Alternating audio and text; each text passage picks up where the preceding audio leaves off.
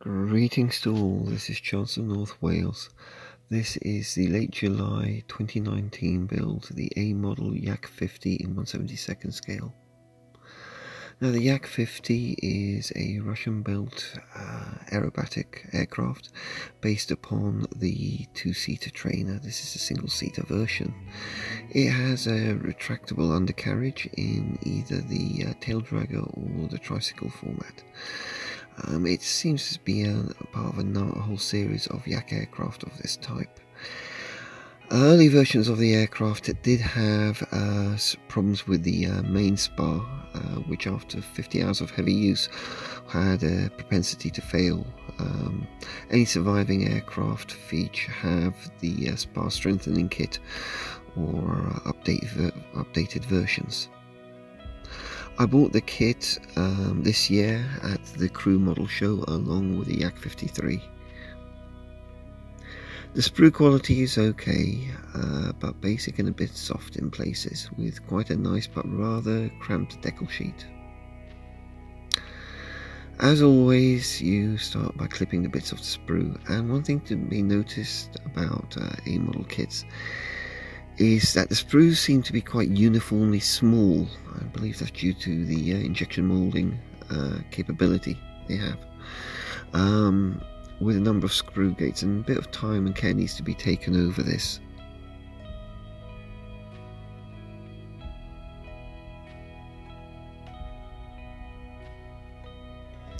Something to be aware of um, is that often the uh, sprue attachment points will overlap with the mating surfaces. So again, uh, time and uh, care needs to be taken on the cleaning up, especially after cutting off from the sprue. A lot of sanding down, checking the uh, mating surfaces. Um, Amodel kits in my mind are all about assembly. Test fit, test fit test fit. Um, that small panel in front of the cockpit, um, cockpit floor, everything needs to be checked. nothing will fit first time off. Um, as can be seen there, that required a fair bit of work just to get it to sit right.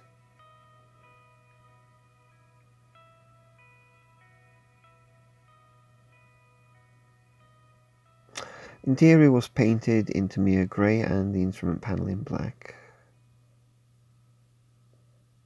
After the painting, to ensure that uh, the, the uh, cockpit sat properly, I did have to scrape off the paint. The seat belts were made up, as always, of uh, masking tape, painted the appropriate colour, and cut into fine strips, and then just applied to the seats.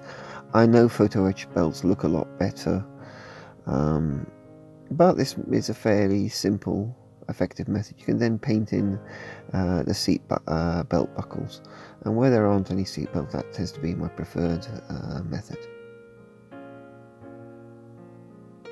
The canopy, um, because the uh, main frame lines were quite indistinct, I used thin uh, bits of marking uh, tape to first define the main edges and then filled in the areas around them.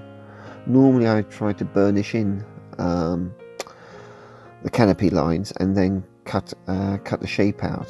But where that's indistinct, you have to just build it up off strips, which is what I was doing there.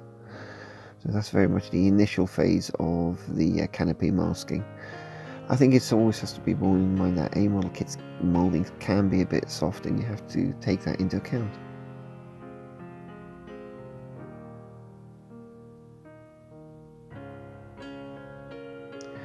Filling was in this case with squadron uh, putty. Uh, I tend to use a variety of putties. Uh, I sometimes actually will vary them between pro uh, projects, um, either Squadron, Deluxe Products, uh, Revell Putty, and uh, Mr. Surfacer as well. In this case, I decided to use the Squadron Putty, giving it a reasonable bit of drying time in between applications and then sanding back with multiple grades of sanding uh, media. Again, checking, sanding, and um, reapplying in a cycle.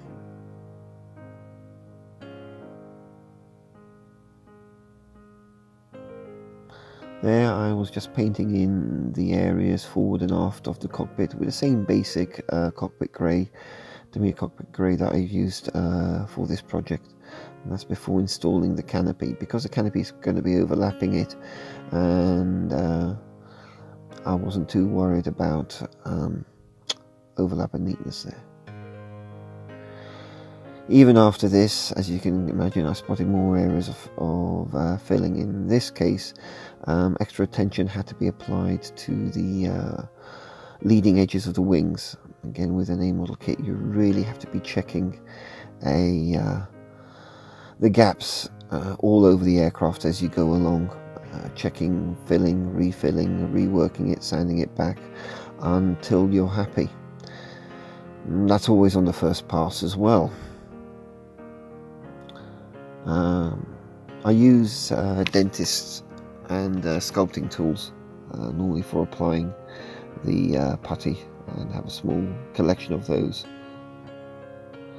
Again, often refilling areas I've previously reworked until I'm happy with the surface and then often rescribing afterwards as well. Uh, though on this kit there wasn't an excessive amount of rescribing, there was a bit but not too much.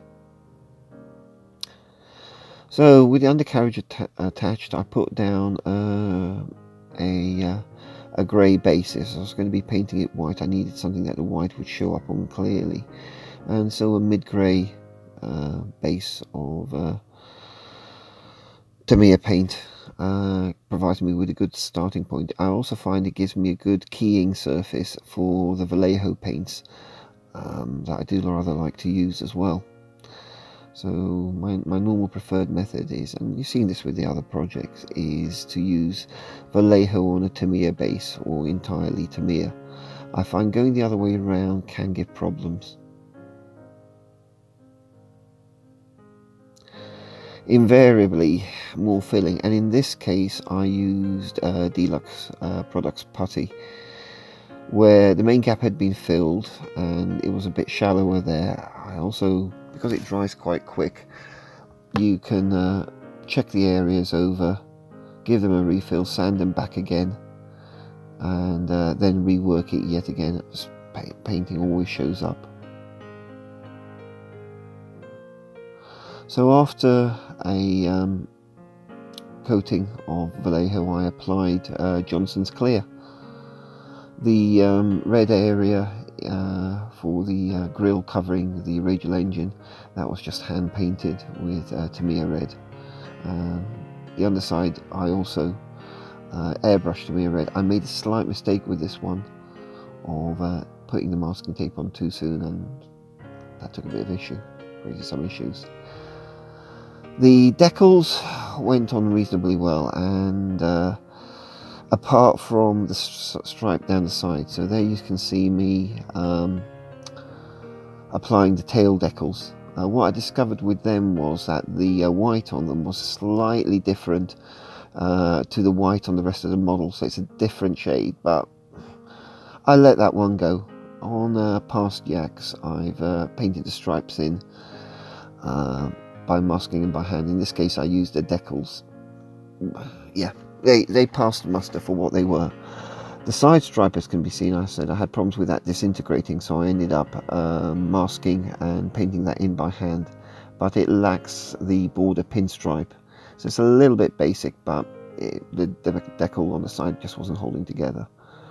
Again, I uh, settled the decals with Microset and Microsol.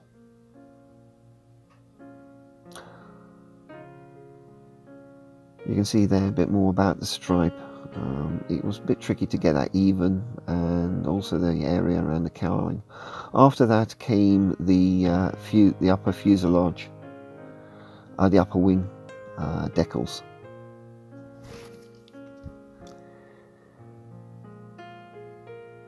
Now in other builds I would have actually painted these on rather than struggling with that but I decided to use the um, uh, kit decals on this one. And in all fairness um, these didn't settle too bad. Bit tricky to handle took a bit of positioning. And uh, then the edge with the uh, lower surface had to be uh, hand painted in. But still I think came out reasonably neat. I think I find Amodel decals can be a bit hit or miss. You can have very good ones, or you can have ones that are absolutely dreadful in colour part. I'm not a fan of how crowded the decal sheets are. Um, but if you're willing to work with them, cut around the uh, features, they can work out quite well. Again, Microset and Microsol um, used and applied extensively. Like anything like this, keep the surface well wetted when positioning and settling the decals down into place, working with brush and fingers there.